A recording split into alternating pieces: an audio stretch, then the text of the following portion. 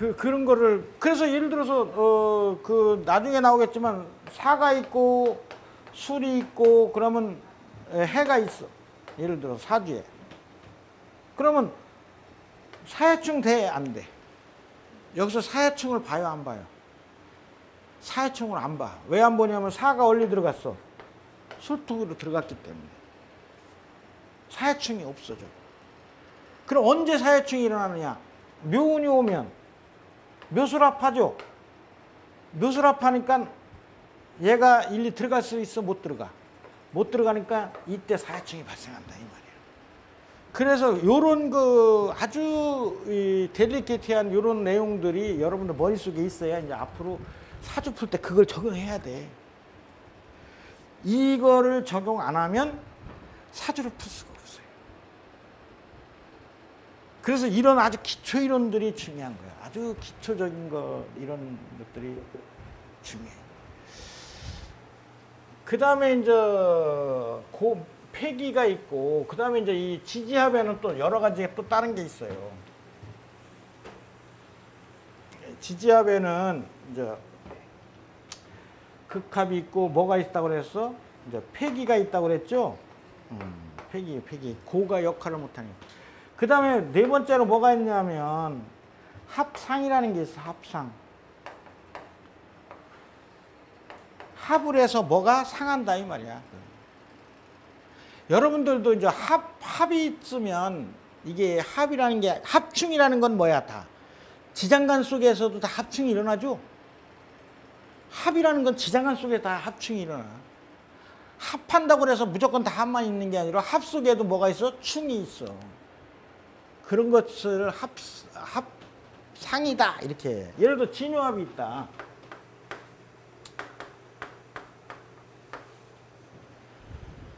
진유합이 있으면 이 여기에 지장간 속에 여기에는 이거는 지장간이 뭐야? 신이죠. 경은 안 본다고 그랬어요. 그 정통명에서는 유금의 지장간에 경신 그러잖아요. 근데 그 신, 경은 안 봐. 신이 있고 여기에는 뭐가 있어요? 을, 개, 뭐가 있죠? 그러면 여기서 무슨 일이 일어나? 을신, 충. 그래서 합을 했는데 진유합을 하면 진중에 뭐가 상하는 거야? 을목이 상하는 거야. 을목이 죽는 거야. 그래서 그 예를 들어서 갑진일주들은 이 갑진일주가 있으면 갑목이 진토에 뿌리를 내렸으니까 갑목이 뭐야? 죽은 나무야, 사른 나무야? 사른 나무잖아. 그렇지? 활목. 활목인데 여기 유금이 오면 뭐로 바뀌어? 이렇게 유금이 오는 순간에 진유합을 하면 여기에 뭐가 상한다고 그랬어? 여기 을목이 상한다고 그랬죠? 그러면 을목, 감, 을목은 감목의 뭐야 이게? 뿌리죠. 뿌리가 상해. 그러니까 뿌리가 상했으니까 활목은 활목이 제일 두려워하는 게 뭐야? 뿌리가 상하는 거잖아. 가지가 처지고 뿌리가 상하는 거야. 살아있는 나무는 그래서 뭐를 싫어해? 금을 싫어해. 그런 거야.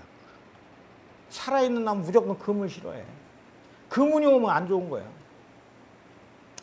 금운이 오면 안 좋기 때문에 그래서 더군다나 금 중에서도 이 여기에 예를 들어서 경금이 와서 각경충 하는 거는 가지를 치는 거잖아. 그건. 그렇죠?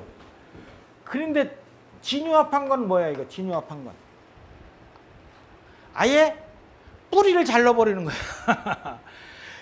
살아있는 나무에 가지 치는 거하고 뿌리 자르는 거하고 어떤 게 더 문제가 많은 거야? 뿌리가 잘리는 게 문제가. 왜? 아예 그냥 죽어버리니까. 죽어버리니까. 죽어버리니까. 나무가 죽어버리니까. 파격이야. 그래서 갑진일주에 유금, 유금이 오면 그냥 그건 파격이야. 왜? 살, 활목이 뿌리가 잘렸으니까. 사주 볼 필요도 없는 거예요. 이런 사람들은 되는 일이 없어. 그래서 이 그래서 이 폐기라는 이 이제 상하는 거 중요하다. 그 다음에 이제 또 인해합이 있어 인해합. 인해합을 하면 이, 이, 인해합만 보이면 안 돼. 인해합이 보이는 거는 여기에 간목이 임수의 생을 받는 거.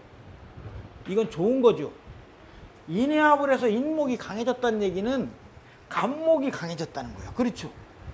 간목이 강해졌다는 거예요. 근데 여기에 뭐가 일어나냐면 병화가 있죠. 이 병임충이 발생해. 병임충이 발생해 갖고 뭐가 꺼졌어? 화가 꺼져버려. 이 화라는 것은 우리의 정신이야, 정신. 우리의 기고, 정신 세계를 얘기하는 거야. 그러니까 목화는 정신 세계야, 정신 세계. 아니, 뭐, 아주 화는 화. 목은 아니고 화가. 화는 화는 정신 세계. 그래서 화하니까 정신 세계가 깨졌다 이 말이야. 불이 꺼진 거야. 불이 꺼진 거야. 불이. 그러니까 이, 이 뭐가 상해? 병화가 상해. 인중 병화가. 그러니까 인중 병화가 육친에 해당하면 그 육친이 상한 거예요. 인중 병화가 재면 재가 상한 거고 인중 병화가 상하면 잘못하면 화에 병이 생기는 거예요. 이게 합이라고 해서 무조건 좋은 게 아니야. 합반되고 그래서 실질적으로 보면 사주에 합이 있으면 별로 안 좋아.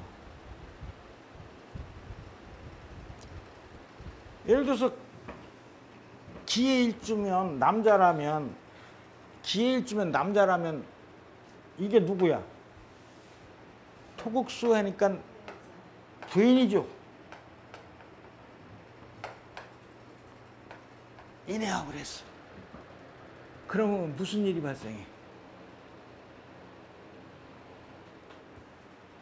내 부인이 기토하고 인모하고는 다른 놈이죠. 내 부인이 누구하고 합했어? 다른 놈하고 합한 거예요. 그러니까 좋아 나빠.